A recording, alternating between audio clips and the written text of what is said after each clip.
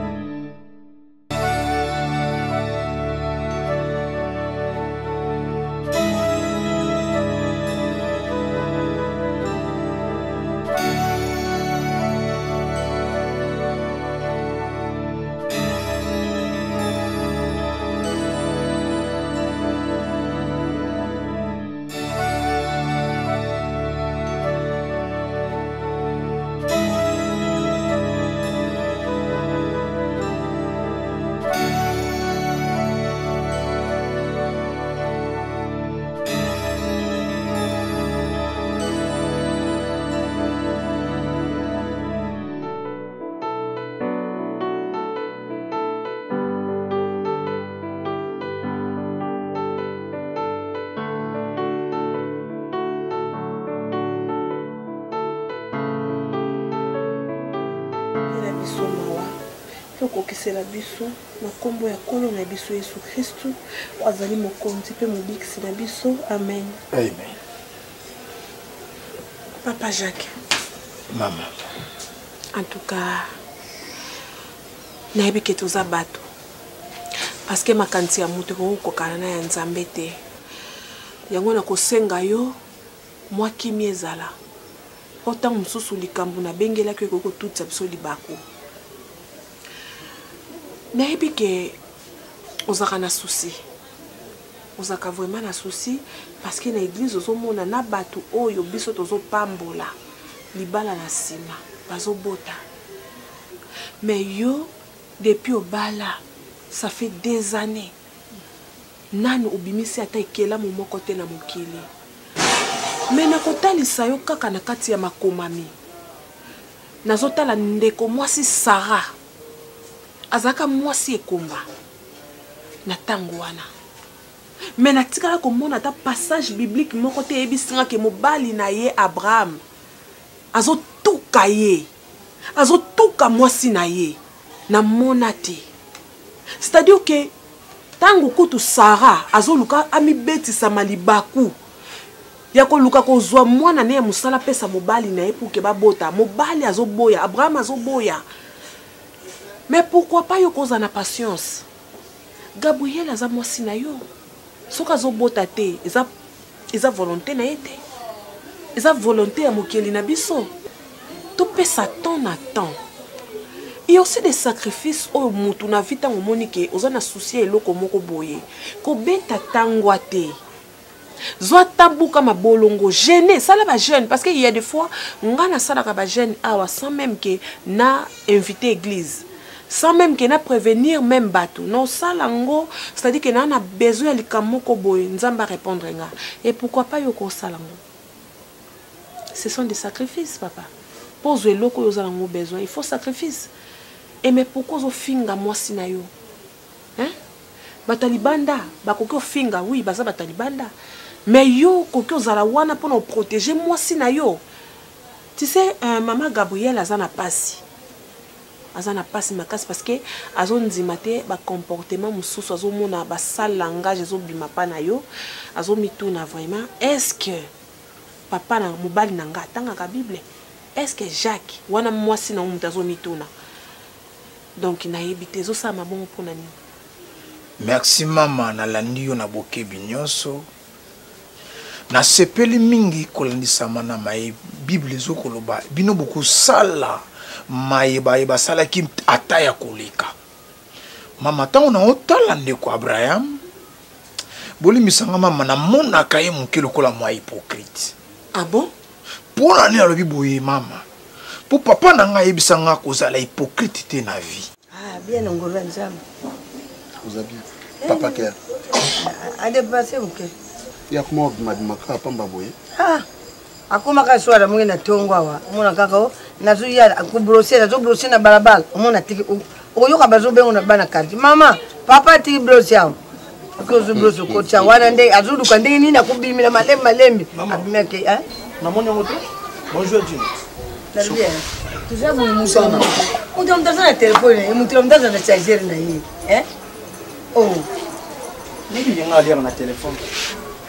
osala nini yo odiaka na telefone yo okomokima eglise boye po ani ka dimanche moko ya jino non dimanche moko eza ebele okendaki wapi bafungola carême oh. eza mpena na sens non ezalaki tabaski ah. bango baza bamusulman biso toza bachrétien ezalaki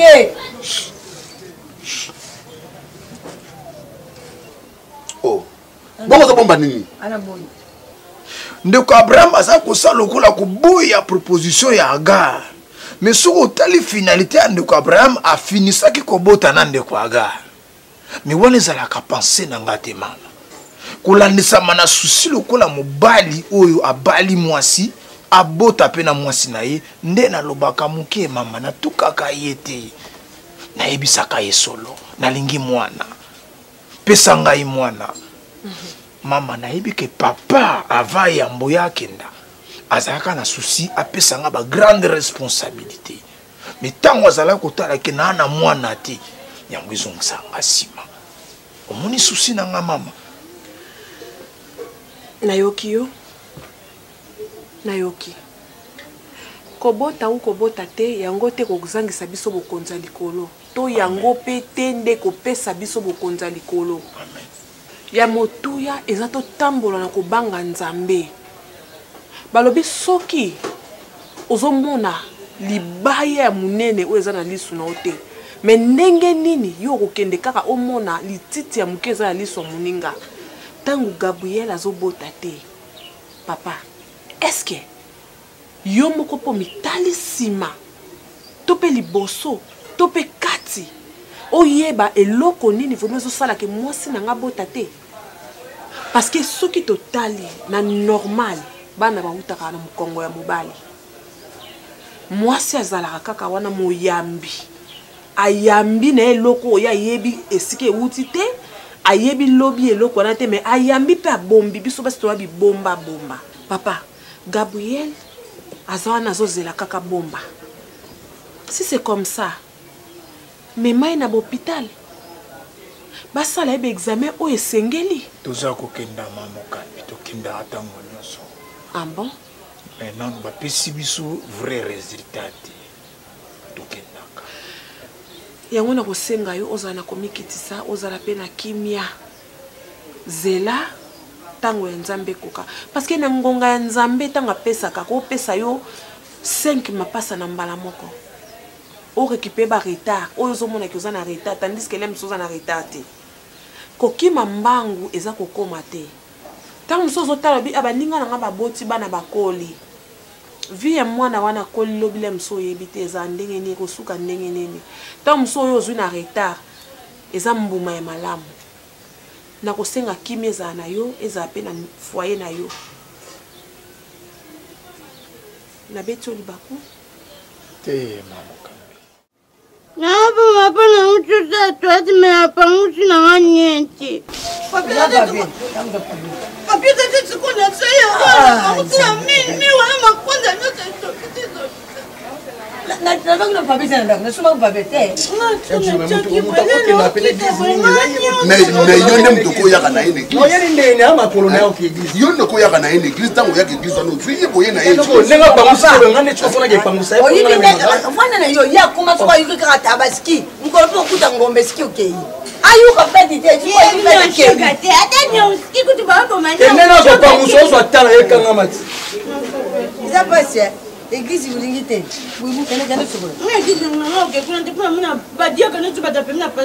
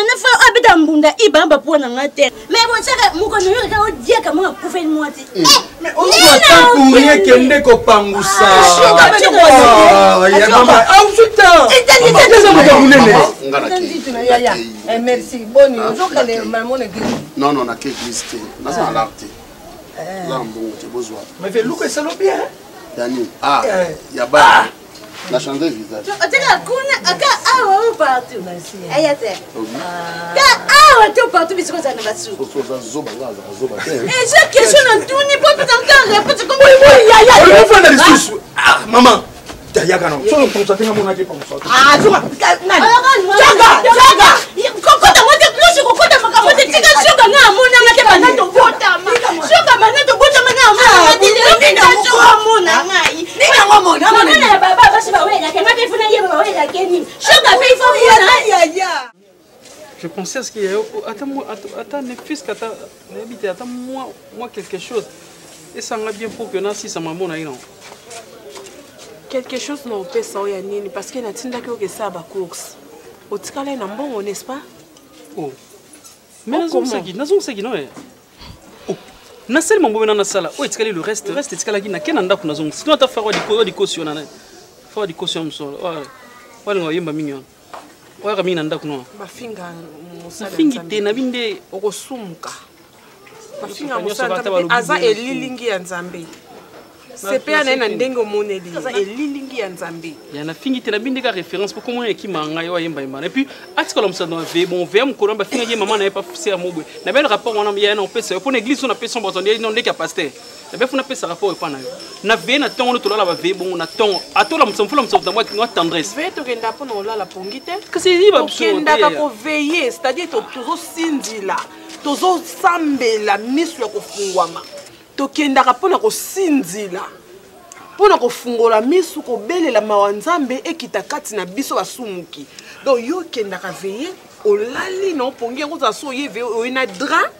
oye na oreye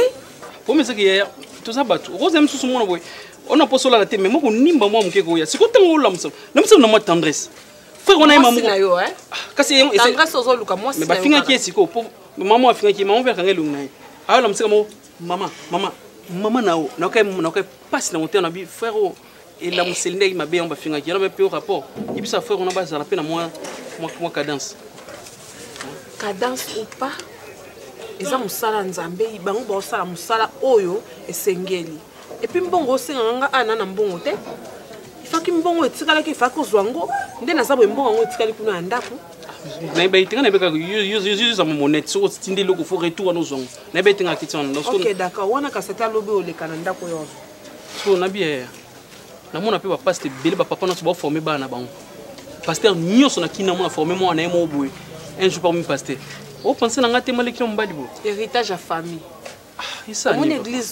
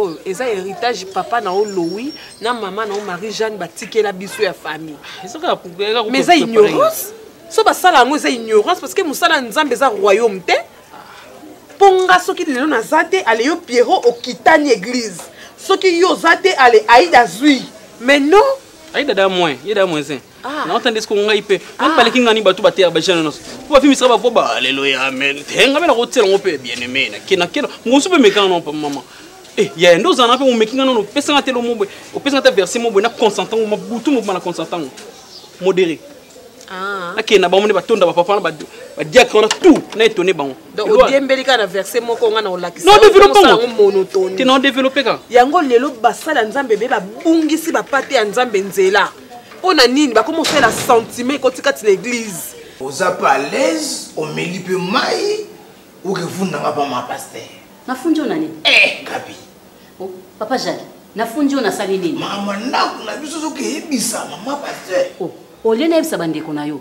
to na yebisa famille na nga, na eh. biso na pas na mama pasteur. Mais ako tonga Gabi, nga na mbali na. Surtout on a problème na katanda ko to solo et simba te.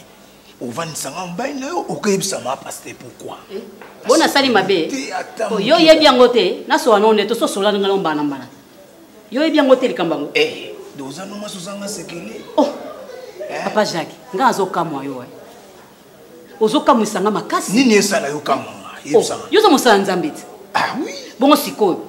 nakoluka mwana mwasi tosolola ntango na ndeko na ngai mwasi maza aza mama pasteur fo nasolola na ye aza ndeko na ngai mwasi acomprendre ngai asolola na yo eh, nayebisi bato ya balabala te nasali mabe nini wanagabi bible eloba discrétion eya elo moko ya malamu mpo na bana nzambe eh? ntango wana mobali na yo kitisa na se bosolola eh? papa omoni nzambe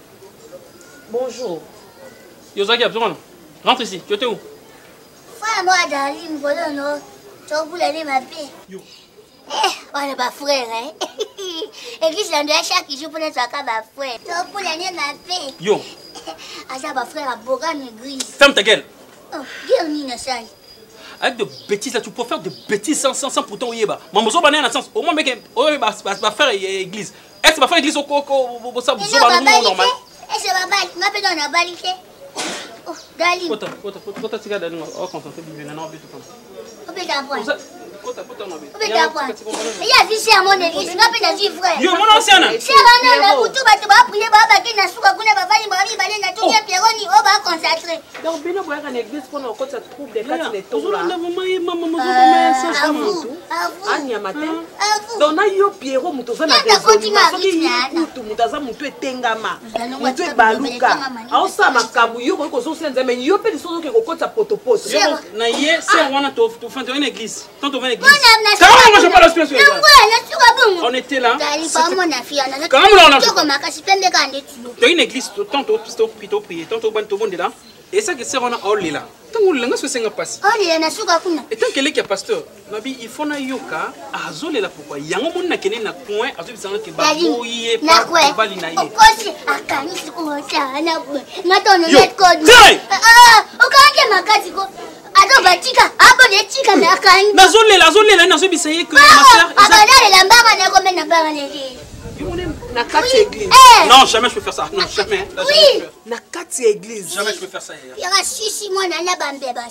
kanga munoko na yo via na mine mbanga evimbi si ta tête là ne fonctionne pas je te tape devant un homme bête ce qu'on a fait Pierrot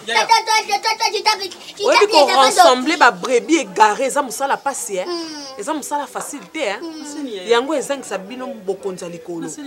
parce que bozokimisa bapate oyo biso tozosangisa bazonga na kati ya ndako ya nzambe bino bozoya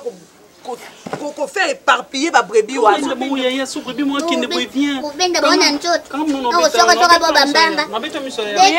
naza awa ntina mpoka toke priere ngai na bino ensemble olakisa nga aida olakisa nga frère wana oyo azokendaka no na batinel epuis pierrot olakisa nga zonga boye ah, olakisa nga ser wana oyo oh, olataki ye nzoto nzoto na kati ya eglise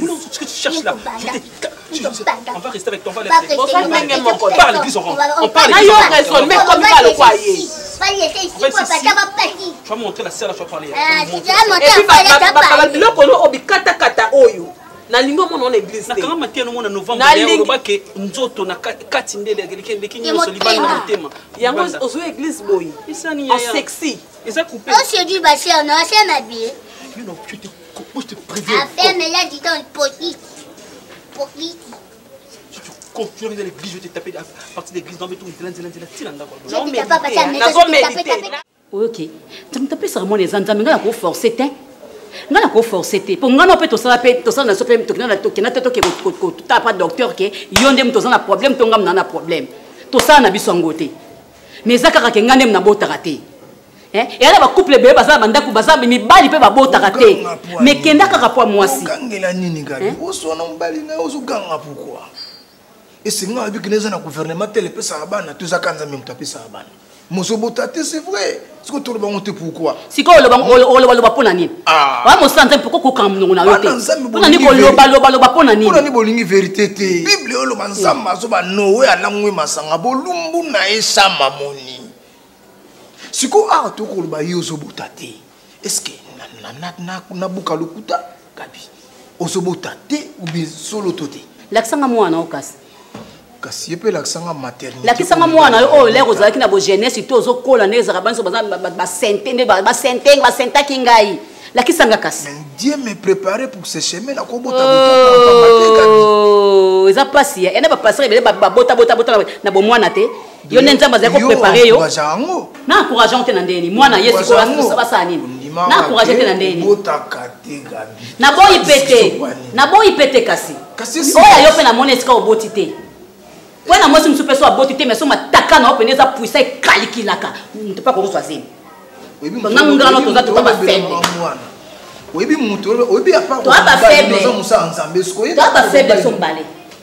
Gabi, oyebi ke apart kozala mobali na yo mosala nzambe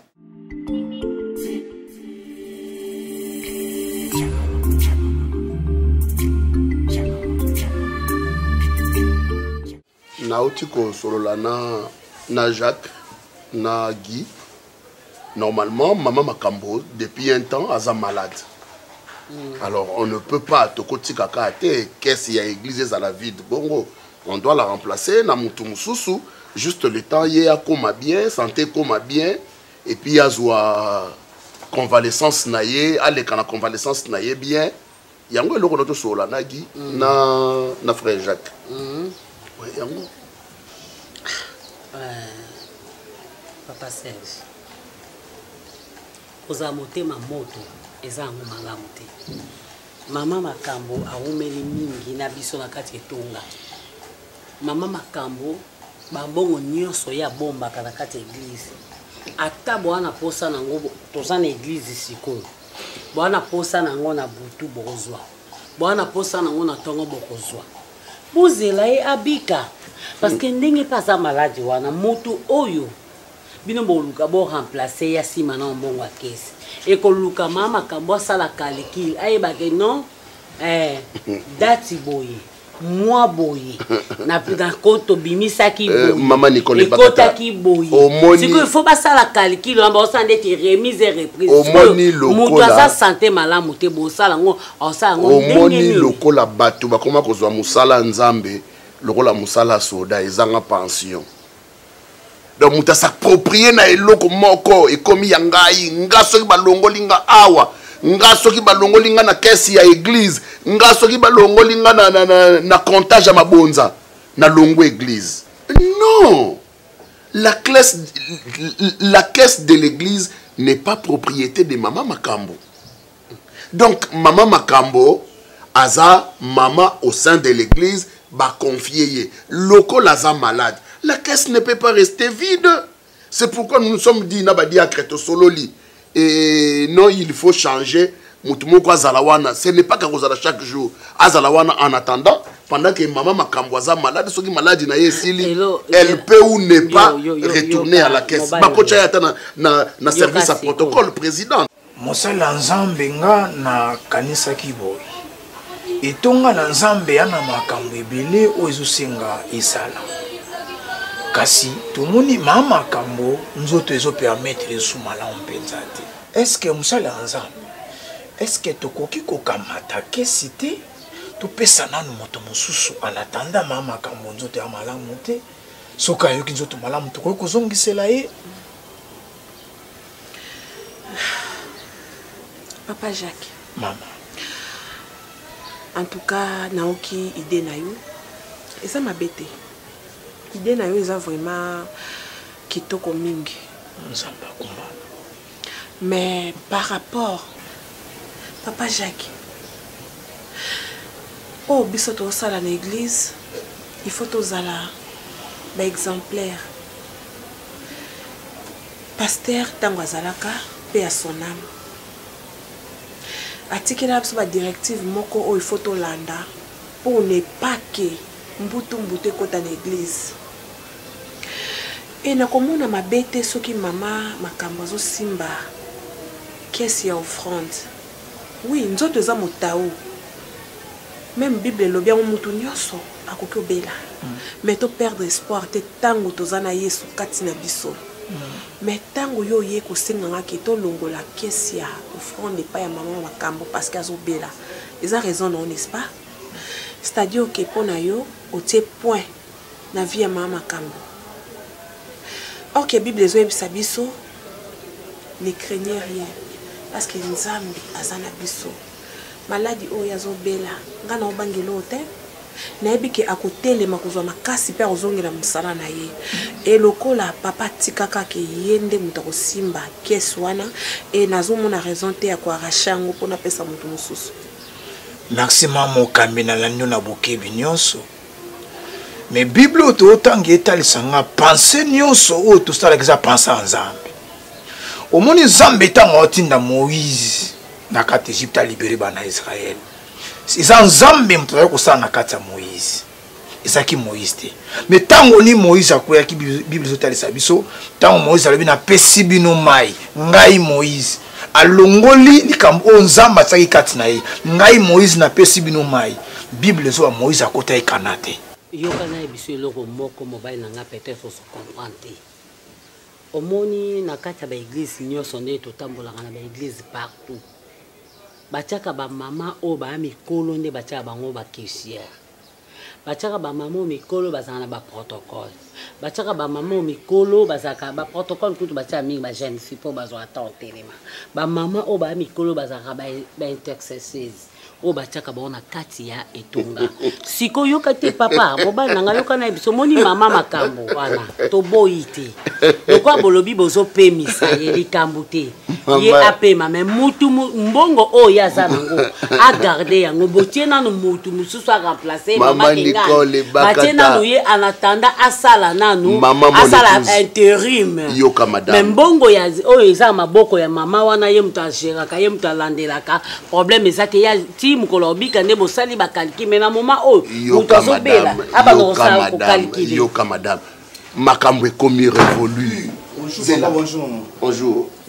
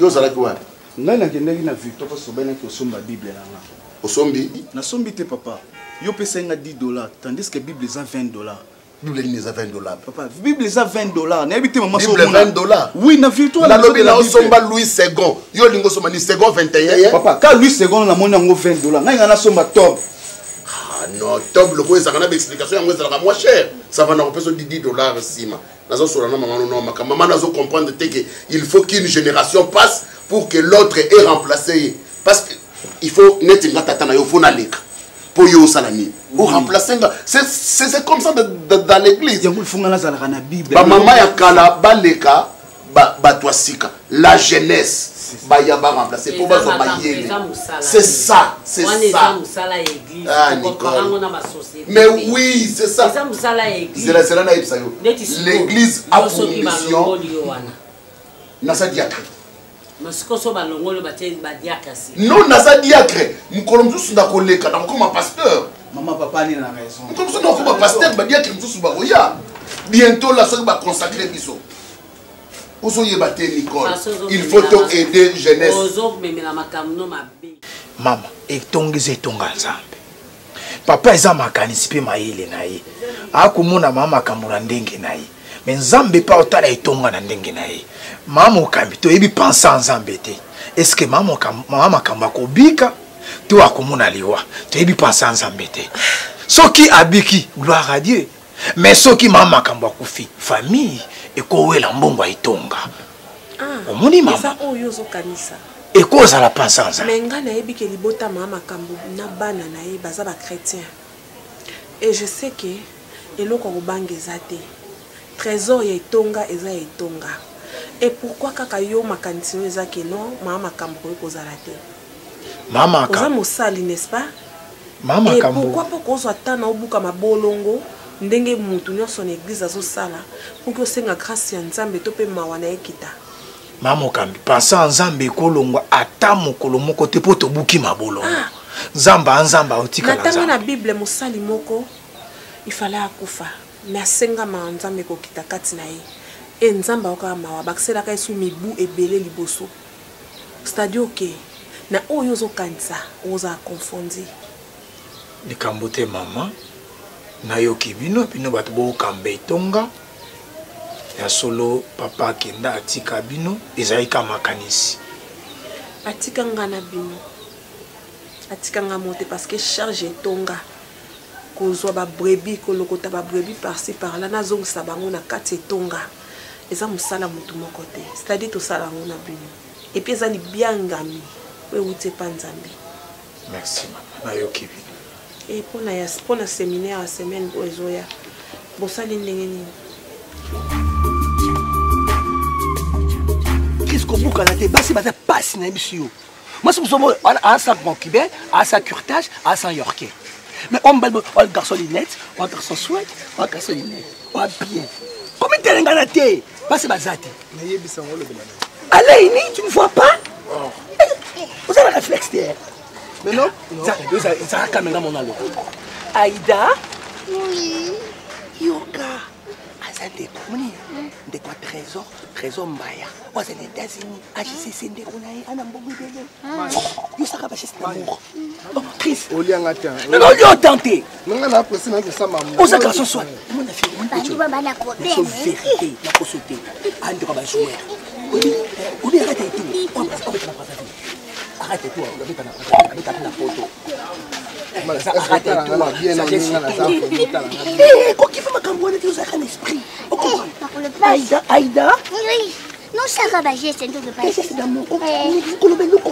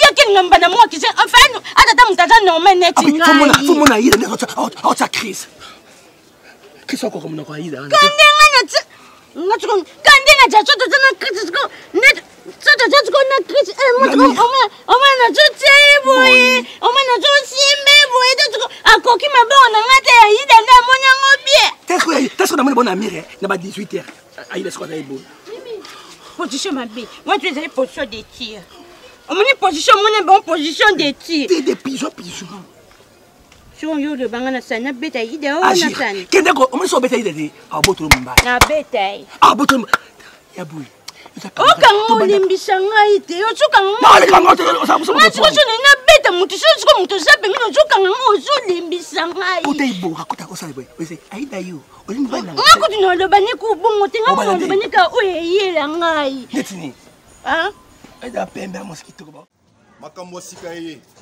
makambo ya sika oyo rais ayeli bino eza nini eza fondation mabele fondation mabele eza mpe nini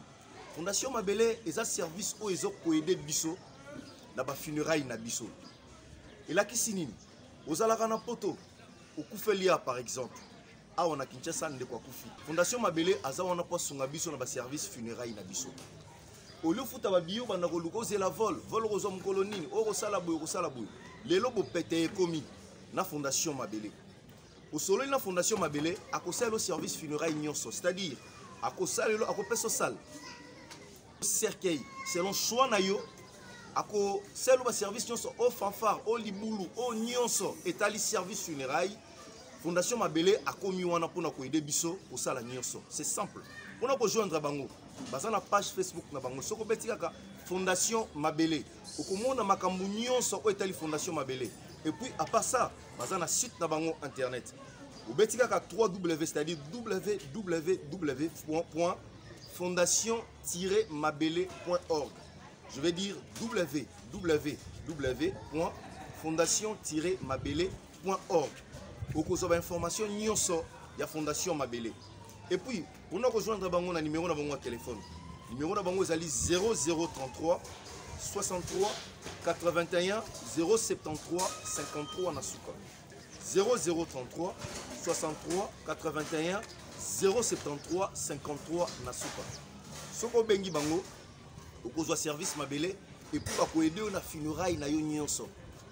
Oui, effectivement, liste ya ngam na salaki yango.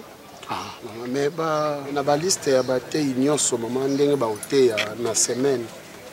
Eh, nga na mokambi Jacques to toza na kati ya liste wana te. Biso to yango ni ka mokambi Jacques aza euh, na moderation deux fois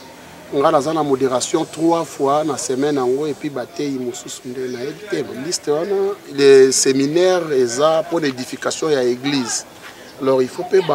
bateyi ya église bazala mentionne na liste mpo baparticipe diacre serge namoni eloko oyo ozotutisa malibaku te soki na bato oyo bakoteya na seminaire oyo tozobanda nkombo na yo na diacre jacques eza te probleme eza nini papa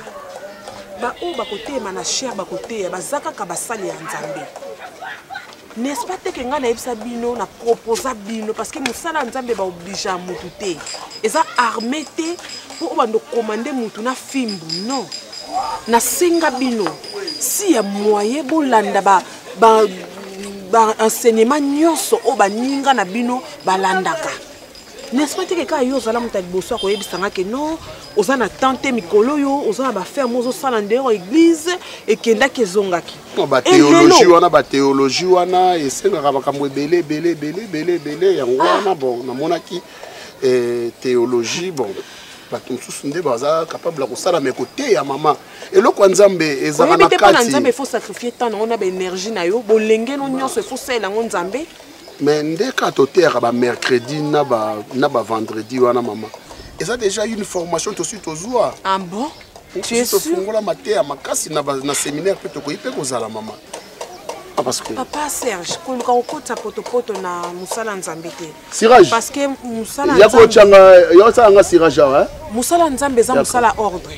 OK et il faut bo respecter kaka liste wana et puis na lingi ba instrument bo landela ngo eza na son ya bien et puis pasteur oyo akoya wana na lingi bo lukela ye parce que au sala une semaine na mabele na biso bo lukela ye place ya bien oyo akozala ya kolala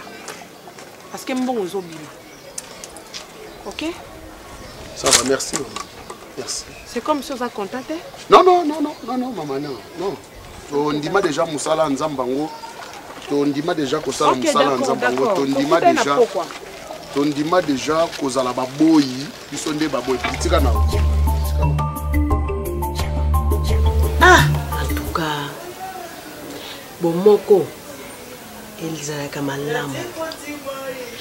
boza bamama ye kati ya lingomba boza bana oyo ngai naboti me oyo bosalaka na lingomba non nzambe amona bino eh, yesu alobaki ntango nazalaki kobela namonaki bino te nazalaki na boloko botalaki ngai te nazalaki bolumbu bolatisaki ngai te ye atunaki bango motuna mokolo nini yo ozalaki na lopitale to na boloko to ozalaki na eloko te na elamba te tolatisaka yo alobi ntango boke kotala moninga oyo aza na makambo misato na ntangi seke bozotala ngai bino bosaleli yango nabelaki botikaki ngai te yango wana naye koremercie bino ma pasteur mama oza mama mokambi mpenza ozokamba biso eh, nzambe apesa so mayele koleka ma pasteur oyo osali mpo na ngai mpo na kosoutenir nga ti nabeli ti nakomi na ngongo oyo nabiki nzambe abakisila yo ya mingi mama Merci, maman. esengo na ngai ezali nzoka bozalaki na mabondeli chaque vendredi boza kolala veille econtinue totika te chaque vendredi boza kosala veille mpo na nkombo na ngai mama esuka na nzela te continue merci beaucoup mama tozala bomoko eh, yesu alobaki te ke kosambela no ebikisi yo te alobaki nde kondima na ye tozala toujours na kondima mm. eh, tokontinue lingomba na biso mm. tozalaki 400 personnes tokomi 800 na sepeli ye vraiment merci beaucoup vraiment merci mama grâce mpe ya bamama oyo toza na bango na lingomba et surtout na côté ya social ndenge totya mama diama na mama repertoire mm -hmm. en tout cas bazosala mosala na bango na ndenge elongobani yango omoni na lingomba motu moko kaka ata kozwa charge nyonso mm -hmm. kote libonza to likambo ye azali kote mhm. koyamba bavisitere kaka ye kote mhm. protocole ye koteya ye non il faut tokabolaka parce que grâce na bango nde bazali kotelema mhm.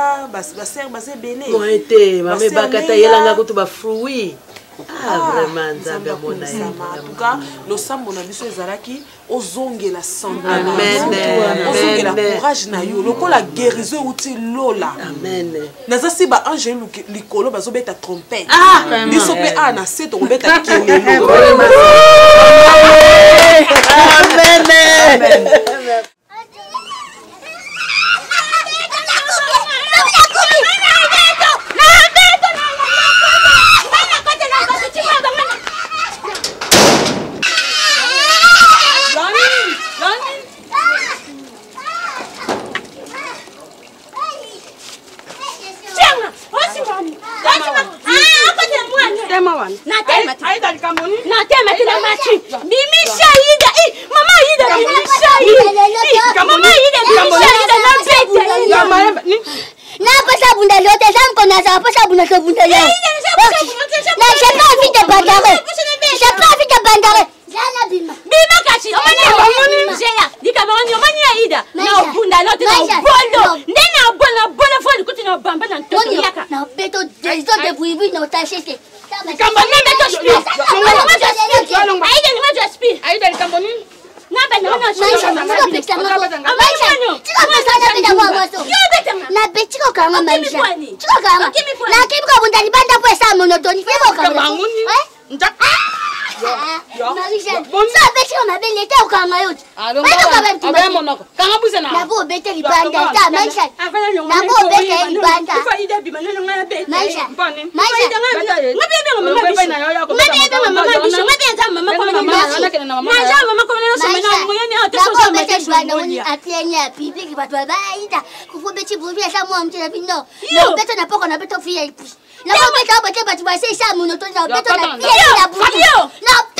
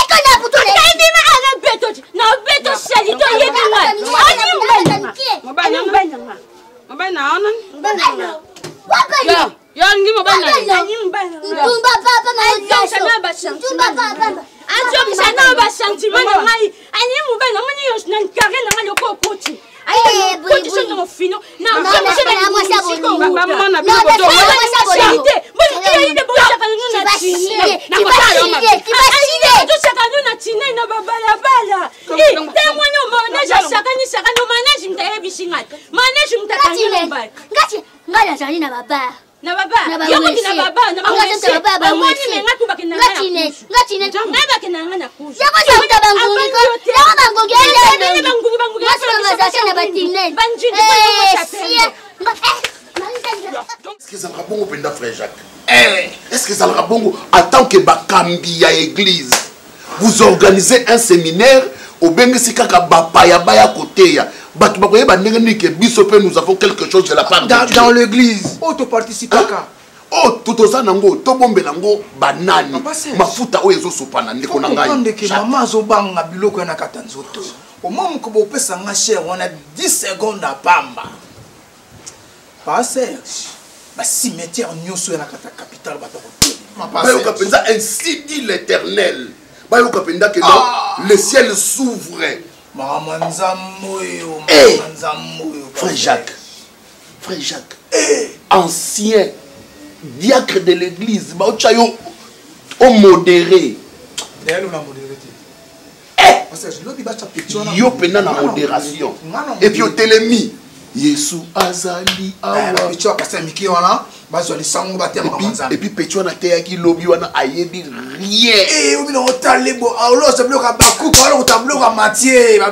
rientala eh, confusion eh. nayebisi yo atangi na, na jérémie aoloba biloko ya job eh. le rédacteur est vivant il se levera le derniernga na nsima nga bie l'église est aveugle bayebi te abimi na teme oyebi ke eresime ese mama église sozaki mama mabale onga pena setna ah, bima ah, ah, osangwe epuis na suka na suka namona mpenza mare abengi bango na biro nayebisi yo tala mbuba ya enveloppe nazo tala mbuba ya enveloppe natelemi kaka boye eh. naotala enveloppe mare aopesa peti wana ngabi moto ateyi nde kitoko te ayebi koteya te mbuba boye na suka nayebisi mare ngabi mare nanga problème moko olukela nga 20 nasala ozwa te o oh, frère serge omoni eh. mikolo oyo maa makambo lokola azoya te nga moko nandimi nazala na na lari ya eglise mais eh, papa na ngai naopesa okaa 5000 soki seminaire na yango evide avant ngai na eglise botina ngai na car botini ngai na essence na ye moderiso te na oya su mama meme liloba ya nzambe ezoyebisa biso na psaume chapitre 1 verset 1 esengo na motu oyo azotambola na baméchant te motu wana oyo azalaka toujours koyoka liloba ya nzambe asepelaka koyoka yango aza lokola nzete oyo ekonami penepene ya liziba kolandaka ye mbango awa mbanda moninga mpe obele lokola ye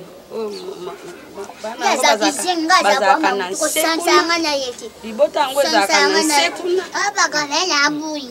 omoni buibui oyo grand na ye oyo aboyaka na leki ya diak petit sœur aliyanda nga mpanda mbanda kutie mobali aza mobali na ngai ye sikoyo mobali na ngai aboyaki mpo aza monene abi ato amosi ataki esi bula lela ngai na elulu nanga kuna abetaki deja sikoyo maisha nde abaki mpo soki akwei kao awa bayokanga biso lopango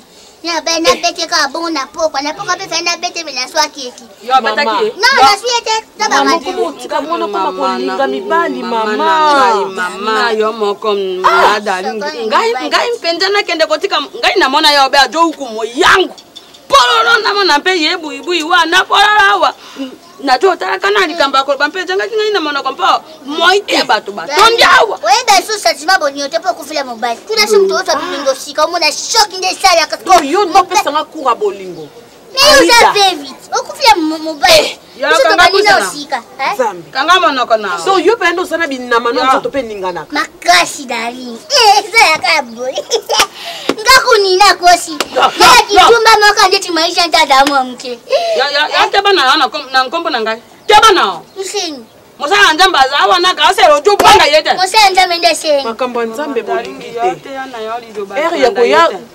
koyoka ba conseil ya basi bolingi te mama na yo ba solliciter yo ozala kote ya ba ya ba paka ya lingomba ya ba mama olingi te mama kaka pona yo botikala ba yo ah, nayebi te ozotinda kaka kolinga mibali po bayaka kopesa mbongo kolia to nini mama soki olobi bongo ngai nakokamwa mpo ngai nakoma na tobongisa meya na mama cornelia nalandaka na bango na utube te na facebook nalandaka kasi moto oyo eza be yo moko lokola oza mosala nzambe boye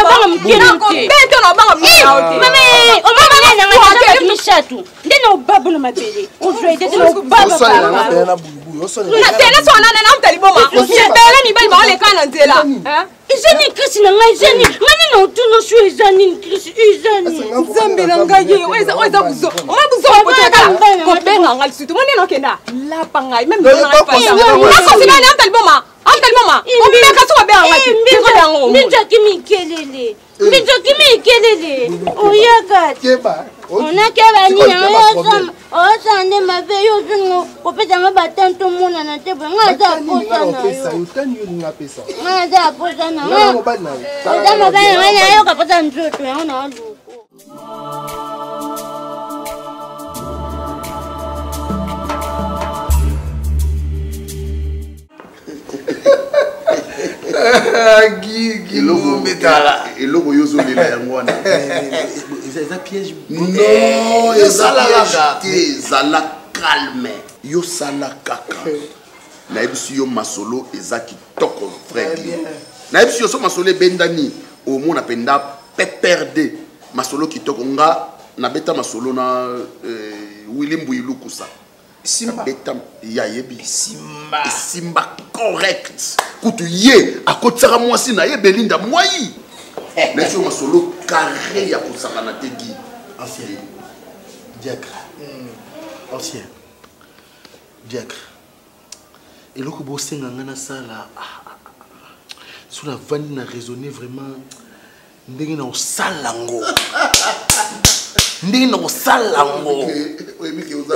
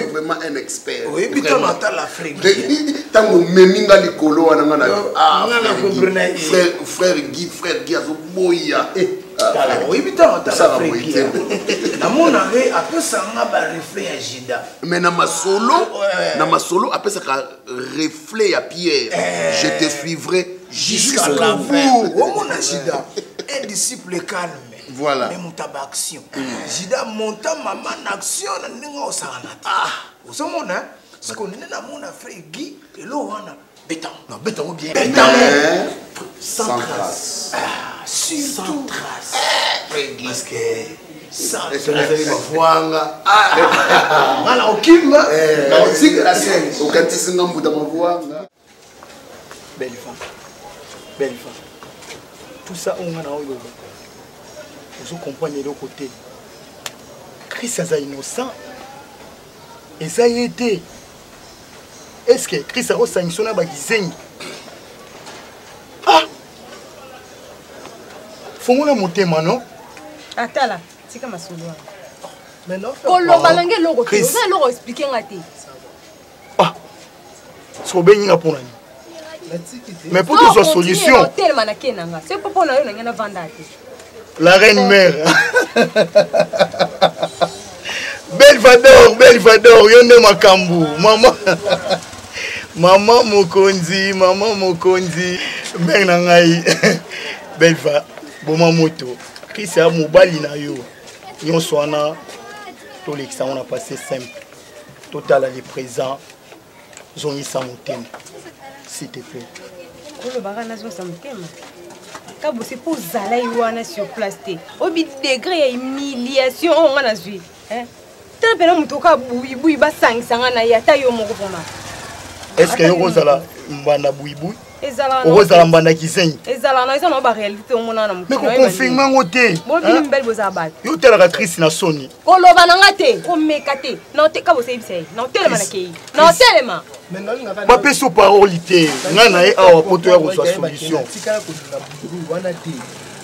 natikala meme mpa kofunga mono naloba na ye eloko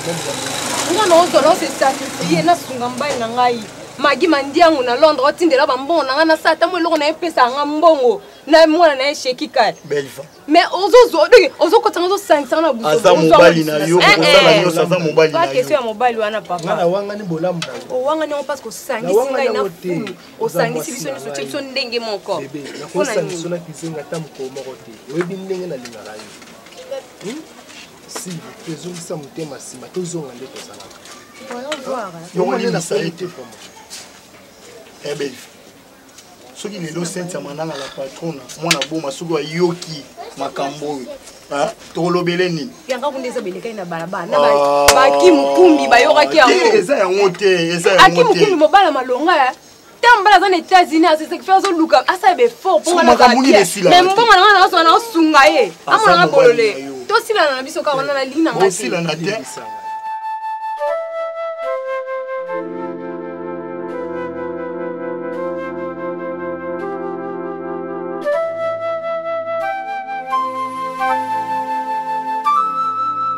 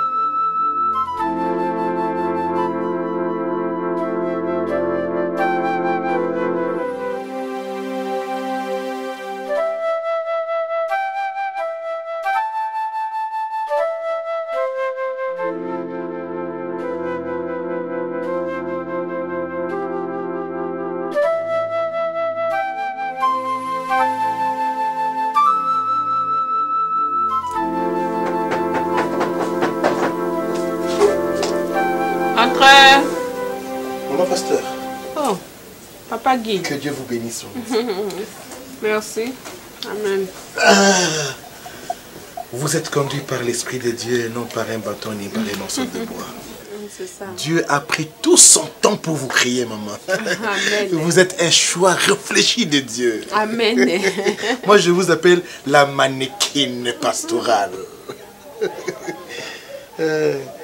je crois que oyeka mpona nayeka mpona nabongisaki yango déjà frère a le chic type de paris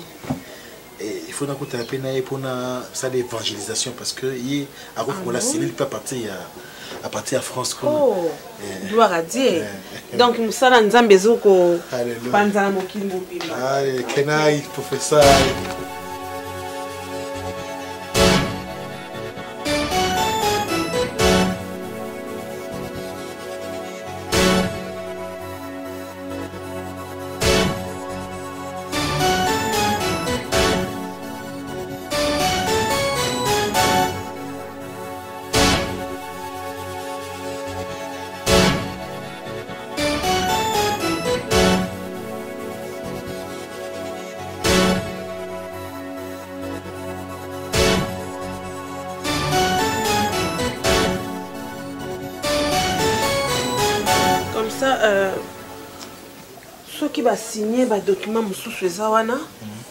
mosusu euh, bogarde epuis euh, osali bafotokopi mpo ngai nazwa